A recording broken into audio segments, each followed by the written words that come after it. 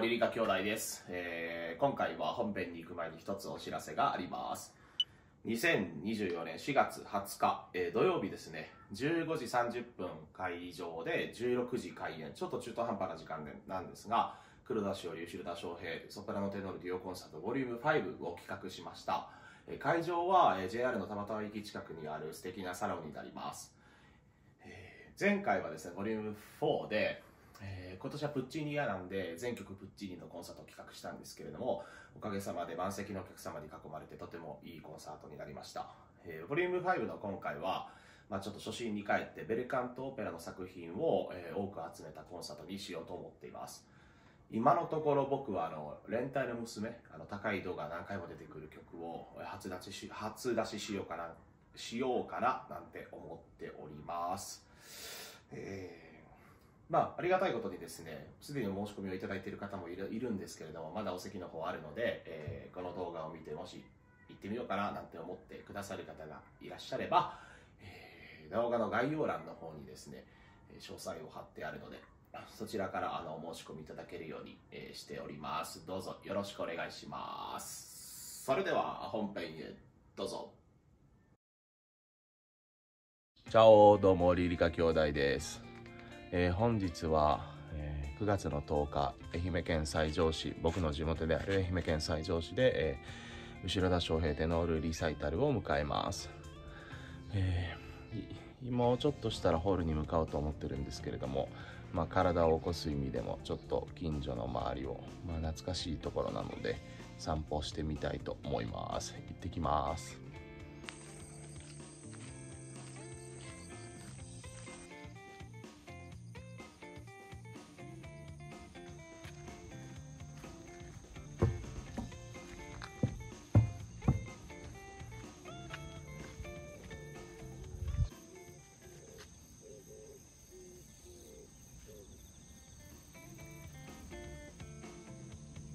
小さい頃ずっと遊んでいた川ですが水が少なくてなんか荒れ果てています。これでも年に2回草刈りしてるそうなんですけど機械で。今は川に降りれません。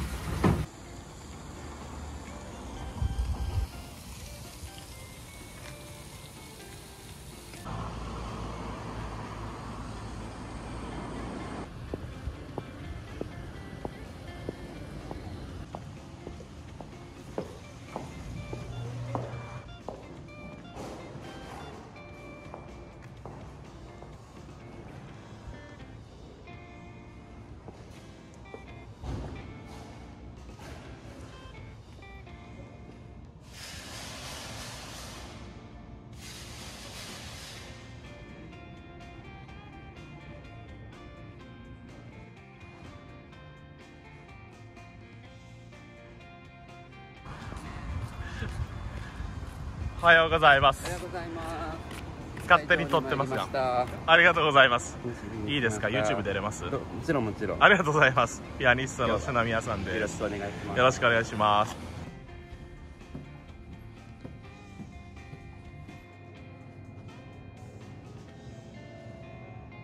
えー楽屋に着きました、えー篠宮さんが今ピアノを弾いて、まあ、音の確認なんかをしてくださくれているので、えー僕もそろそろ行ってちょっと、えーまあ、確認最後の確認をしてきます。頑張ります。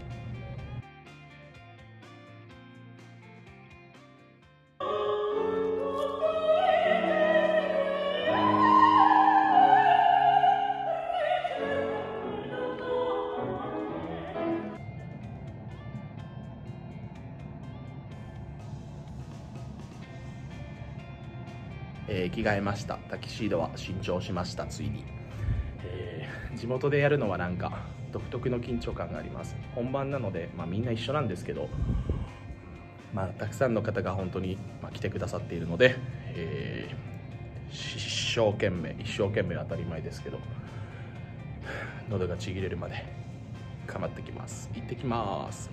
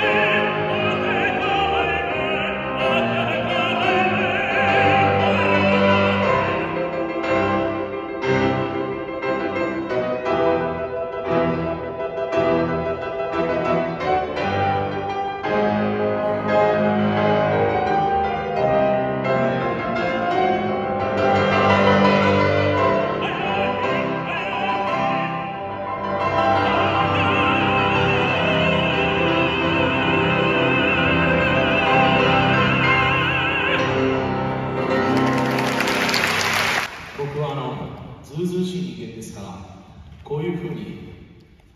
ああこれでリサイクルやってよかったとはならないんです実は。もっと盛り上げたいという気持ちがありますので西条って実は僕だけじゃないんですよ大抵当たり前ですけれどもね。磯先生の教え子でも今2人、えー、東京の音大に行って卒業をしてプロのオペラ歌手になりますって言ってる子もいるしピアニストにもいるし他にもたくさんいらっしゃるのでまたこういうコンサートがあったらどんな気持ち純粋に楽しみに行くでもいい応援の気持ちでもいいどんな気持ちでもいいんで足を運んでいただいてあの一緒に西条の皆さんがいないと僕たち歌も歌いませんからあの一緒にこの西条の音楽文化を盛り上げて育てていきたいと思っているのでご協力よろしくお願いします。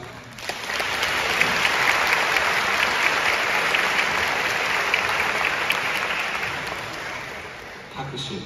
してしまいましたね。よろしくお願いします、えー最後はじゃあ一緒にみんなでこの西条を盛り上げようっていう気持ちを込めて頑張るぞっていう意味で頑張るぞと歌うんですか？トゥーランドット作曲。誰もね間違えた、えートゥトゥーランドットの国の、えープッチーニ作曲のトゥーランドットというオペラより誰も寝てはなら寝てる人いないですか誰も寝てはならぬこの曲はあのトリノオリンピックで荒川静香さんが金メダルの時にね歌ったあ歌ったさんが踊ったあの流れてた曲ですよね、えー聞いたことある人たくさんいると思います。最後に高い音をヴィンチェーヴィンチェロっていう言葉で伸ばす。これが勝つぞっていう意味なんで、えーこれをしっかり決めてこのリサイタルを締めとさせていただきます。皆さんで西条の音楽文化盛り上げていきましょう。よろしくお願いします。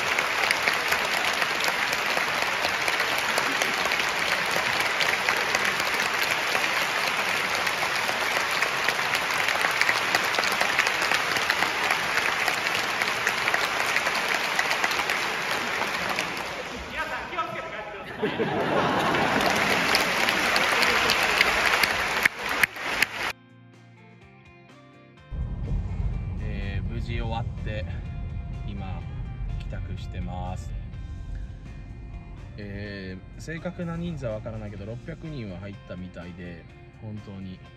まあ言っても田舎の町なんでお客さん来てくれるか心配だったんですけど、えーたくさんの、ま、温かいお客様に囲まれて無事終演しました、えーこれであさって東京に帰ってまたすぐコンサートがあるのでちょっと喉を休めてまた頑張ります。運転は父親です。なんか言うてやどうもありがとうございました。いかんわ。はい。それでは、えーじゃあ、えー今日今回もご視聴をどうもありがとうございました。チャンネル登録とグッドボタンで応援をよろしくお願いします。